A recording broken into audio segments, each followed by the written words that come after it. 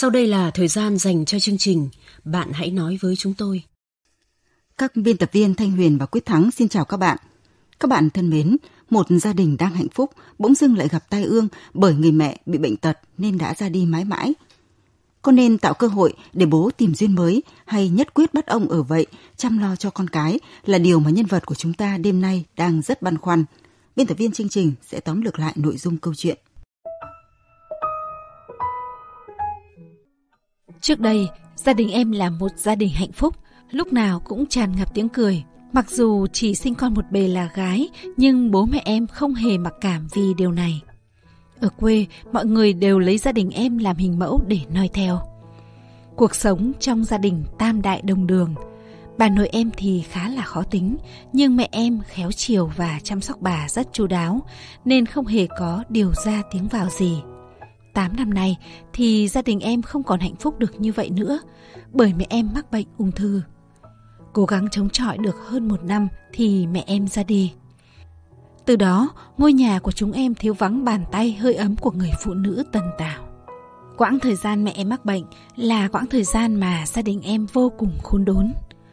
Tiền thuốc thang rất tốn kém. Hai đứa chúng em đều đang học phổ thông. Bà nội thì già cả, chỉ quanh quẩn với ruộng rau và đàn gà, nên kinh tế gia đình một mình bố em phải cáng đáng hết. Ngoài thời gian làm việc ở công ty, về nhà bố em còn nhận sửa chữa đồ lặt vặt, rồi còn làm thuê làm mướn, nhiều công việc khác nữa, miễn là kiếm được ra đồng tiền. Thương bố mẹ, hai chị em em vẫn đảm bảo việc học hành ở trường lớp, nhưng vẫn nhận khâu nón để kiếm thêm tiền phụ giúp bố. Chả là quê em có nghề làm nón truyền thống. Thế nhưng mọi cố gắng của mấy bố con đều thành công cốc, bởi mẹ vẫn bỏ ra đi mãi mãi. Phải rất lâu sau khi mẹ em ra đi, gia đình em mới có thể ổn định được cuộc sống như bây giờ. Giờ đã ngoài 50 tuổi, bố vẫn lụi cụi, chăm chỉ làm ăn. Vì chúng em, bố có thể chịu mọi thiệt thòi. Ông thường khuyên chúng em phải cố gắng học hành để về sau đỡ khổ. Nghe lời bố, chúng em rất chăm chỉ học hành. Chị gái em đã tốt nghiệp đại học và đã có công việc ổn định. Em thì còn 2 năm nữa mới tốt nghiệp. Những tưởng cuộc sống yên lành cứ như vậy trôi qua, thế nhưng khoảng 2 năm nay đã có bóng dáng một người phụ nữ khác trong ngôi nhà của gia đình em. Cô ấy khoảng ngoài 40 tuổi, cùng làm công ty với bố. Nghe nói, cô ấy cũng có chồng rồi nhưng đã ly dị bởi vì họ không sinh được em bé. Lần đầu cô ấy xuất hiện ở nhà em là vì bố em bị sốt virus. Ông phải nghỉ làm mấy ngày nên cô ấy thay mặt công ty đến hỏi thăm. Hôm ấy, cô ấy mua rất nhiều hoa quả và cả thuốc thang mang đến cho bố em. Cô ấy có vẻ tháo vát, xem những loại thuốc mà chúng em ra hiệu mua về cho bố uống, rồi bảo loại này loại nọ là không đúng bệnh rồi cho ông uống thuốc cô ấy mang đến. Bữa ấy, chúng em không hề nghi ngờ gì về mối quan hệ của hai người. Dần già cô ấy đến chơi nhà em thường xuyên hơn. Đặc biệt là những khi cả hai chị em em đều đi học xa, cô ấy thường đến giúp bố em làm việc nhà. Mới đây trong bữa cơm gia đình, bố thông báo với chúng em dự định của mình là sẽ đi bước nữa với cô ấy và hỏi hai chị em em có đồng ý hay không. Chúng em đều cảm thấy rất sốc trước thông báo của bố. Em không nói được gì cả, tự dưng nước mắt cứ trào ra. Chị gái em có vẻ bình tĩnh hơn, nhưng thấy em khóc, chị ấy cũng chảy nước mắt theo. Rồi chị bảo với bố rằng, tùy bố quyết định, nhưng nếu bố làm thế thì con rất đau lòng. Có lẽ bố em không lường trước được câu trả lời của chúng em, nên em thấy mặt ông buồn thiêu. Chị nói vậy, bố không trả lời gì cả. Quả thật, từ khi mẹ ra đi, bố vừa là bố lại vừa là mẹ của chúng em. Chúng em thấy không cần thiết phải có một người mẹ kế trong nhà. Em có hỏi ý kiến bà nội thì bà bảo Bà thế nào cũng được, tùy mấy bố con bàn nhau. Cô ấy thì vẫn đến nhà em chơi thường xuyên. Từ khi biết ý định của bố, em quan sát cô ấy nhiều hơn. Mọi việc cô ấy làm, em đều không thấy vừa mắt. Có những thứ thuộc về kỷ niệm của mẹ như là khung ảnh treo trên tường, cô ấy cũng tháo ra, thay vào đó là một bức tranh phong cảnh cho sáng nhà. Em không đồng ý nên cô ấy cũng không tháo xuống nữa. Đặc biệt, mỗi khi cô ấy góp ý việc của nhà em, em đều thấy không đúng, rất muốn cãi lại. Nhưng vì thương bố nên em phải kìm lòng mình lại. Em có cảm giác cô ấy muốn lập lại căn nhà của gia đình em theo trật tự riêng của cô ấy. Tại sao cô ấy lại xen vào cuộc sống vốn đang yên ấm của bố con em cơ chứ? Các bạn thân mến, mẹ mất đã 6 đến 7 năm rồi. Giờ bố dự định đi bước nữa. Tình cảm đong đầy, đột nhiên bị san sẻ, khiến cô bé trong câu chuyện đêm nay vô cùng hụt hẫng. Chấp nhận để bố đi bước nữa hay ngăn cản cho bằng được đây. Cô bé đang rất chăn trở về điều này. Và đây là những chia sẻ của tính giả gửi cho cô gái. Đầu tiên là chia sẻ của chị Đinh Thị Vĩnh ở Bắc Ninh và bác Nguyễn Đức Hoàn ở Nghệ An. Hiếm có một người đàn ông nào được như bố cháu. Bố cháu bao nhiêu năm đã thờ mẹ cháu nuôi các cháu trưởng thành. Thế bây giờ cháu phải có một sự suy nghĩ khác. Dạy lượng đi, cùng hưởng ứng bố cháu. Để bố cháu đi tìm một người khác về để no nẹo. Rồi chỉ có cái tình cảm tuổi già. Cũng có hoàn cảnh gần giống như vậy. Thính giả Cam Nông nhắn nhân vật rằng Hãy mở lòng mình ra đi em. Chị cũng ở vào hoàn cảnh của em nên chị hiểu. Mẹ chị cũng mất hơn chục năm rồi em ạ. Chị cũng buồn, nhớ mẹ như em. Nhưng cuộc sống vẫn phải tiếp tục thôi. Hoàn cảnh của chị còn bi đát hơn em nhiều em ạ. Bố em là người tuyệt vời đấy. Mẹ em mất mà một mình ông đã phải gánh vác lo cho con, nuôi mẹ già từng ấy năm như thế. Em còn phải muốn như thế nào nữa? Chả lẽ em muốn bố phải nặng gánh lo toan mà không có người chia sẻ, phải chịu cô đơn hay sao? Nếu mà có người đến chăm sóc bầu bạn với bố thì còn gì bằng nữa. Em có thể yên tâm đi học, đi làm, được sống cho bản thân và xây dựng gia đình riêng. Gần gũi và thông cảm với bố là điều mà anh Trung Hiếu ở Đắk Lắk và chị Nguyễn Thị Thơi ở Vĩnh Phúc muốn nhân vật phải làm. Cô nên sống khoáng thoáng một tí.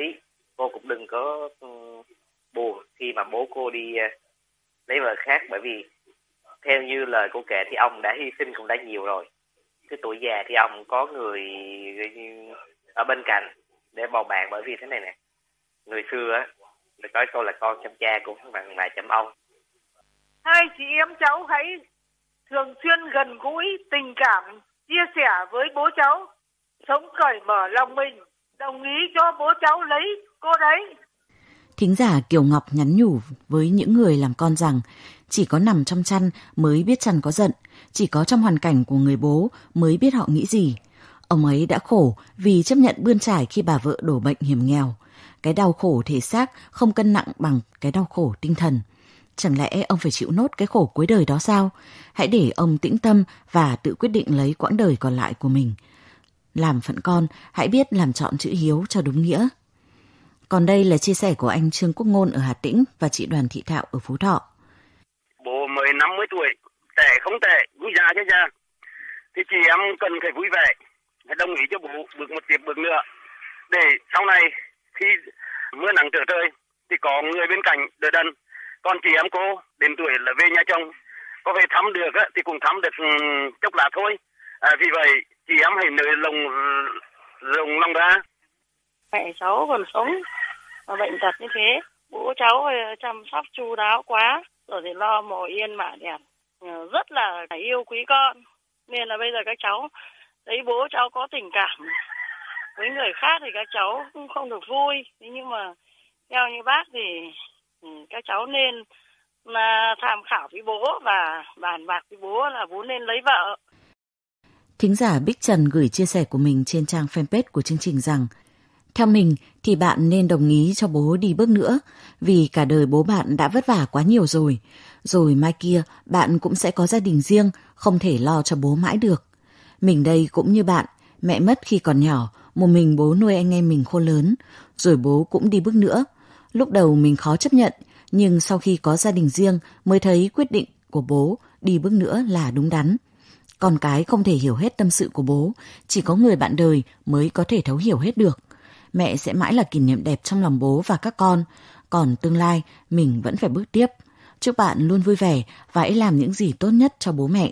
Khi có gia đình rồi, bạn sẽ hiểu bố cô đơn nhường nào. Chia sẻ của bác Hoàng Thị Tùy ở Nam Định và bác Đào Mạnh Miện ở Hưng Yên gửi đến cho nhân vật như thế này. Bây giờ tuổi bố cháu còn trẻ mà mẹ cháu mất sớm bố cháu đang ngồi vậy gà trống nuôi con thắt lưng buộc bụng bây giờ các cháu trưởng thành rồi bố cháu ờ, có người nào đó mà có sức khỏe có đạo đức mà học với bố cháu thì các cháu nên mở lòng. À, thương bố để bố ờ, bước đi bước nữa. Cho toại nguyện cái công lao của bố bố đã thiệt thòi các cháu đã công nhận rồi. Nhân dân ta có câu vắng đàn ông quạnh nhà vắng đàn bà quạnh bếp. Hai cháu vui vẻ đồng thuận cho bố cháu đi một bước nữa vì có người mẹ kế chăm sóc bà cháu là hạnh phúc tốt nhất về sau bố cháu có trái nắng dở rời ốm đau công kia việc nọ có người chia sẻ đỡ đần thì rất là hạnh phúc Cuối cùng, thính giả Nguyễn Chiến nhắn với nhân vật rằng Em đừng ích kỷ, để bố em chọn con đường tuổi già còn chỗ nương tựa, rồi em và chị gái đi lấy chồng thì ai chăm bố. Em còn chăm gia đình nữa chứ. Chưa lập gia đình nên em chưa hiểu vị đắng cay ngọt bùi đâu em ạ.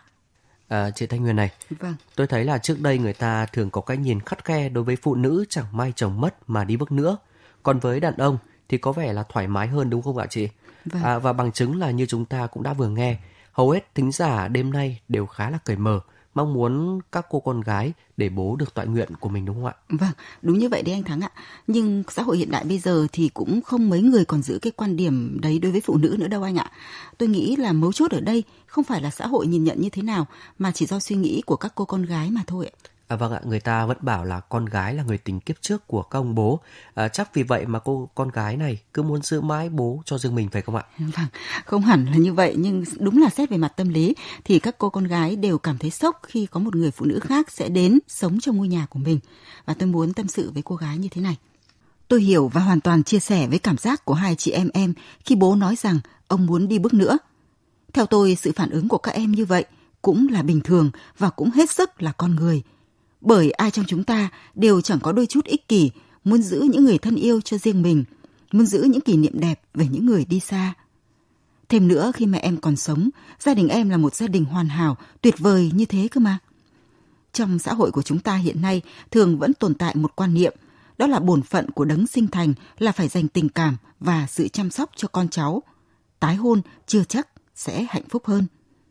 Thế nhưng sự thực thì người già cô đơn hưu quạnh muốn đi bước nữa là nhu cầu vô cùng chính đáng và hoàn toàn không vi phạm pháp luật. Huống hồ bố em mới ở vào lứa tuổi trung niên, nhu cầu cần người tâm sự, cần người chăm sóc và nói thật là nhu cầu về quan hệ sinh lý cũng còn rất cao. Mẹ em ra đi đã 6 năm, ông vừa làm cha vừa làm mẹ để chăm sóc mẹ già và hai đứa con gái.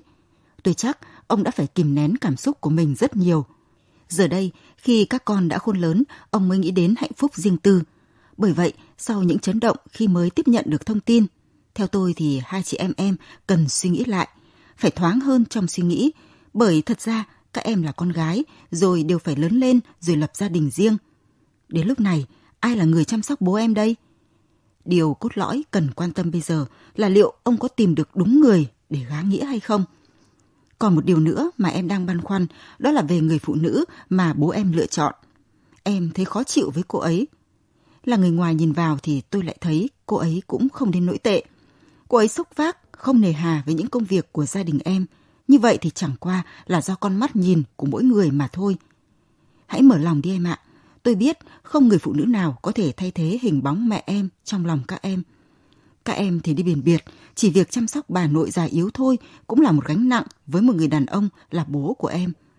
Có thêm một người phụ nữ cùng san sẻ gánh nặng ấy sẽ vơi đi nhiều. Khi đã làm chủ gia đình, người phụ nữ nào cũng vậy thôi, đều muốn sắp xếp theo chủ kiến của mình. Để dung hòa được sở thích của các thành viên trong gia đình thì cần có ý kiến trao đổi của tất cả mọi người để đi đến thống nhất. Nếu có gì khó chịu, nếu có ý gì không thích, thì em hoàn toàn có thể nhẹ nhàng góp ý kiến với cô ấy. Nếu ngại quá, thì có thể nói với bố để tránh những bức xúc tích tụ. Ai cũng muốn người thân của mình được hạnh phúc. Các em chắc cũng không nằm ngoài số đông mọi người. Hãy suy nghĩ thật chín chắn để mang lại niềm vui cho bố mình và vẫn sẽ mãi mãi có được một mái nhà hạnh phúc như từ xưa đến nay các em đã có. Chúng tôi chờ những hồi âm vui của em.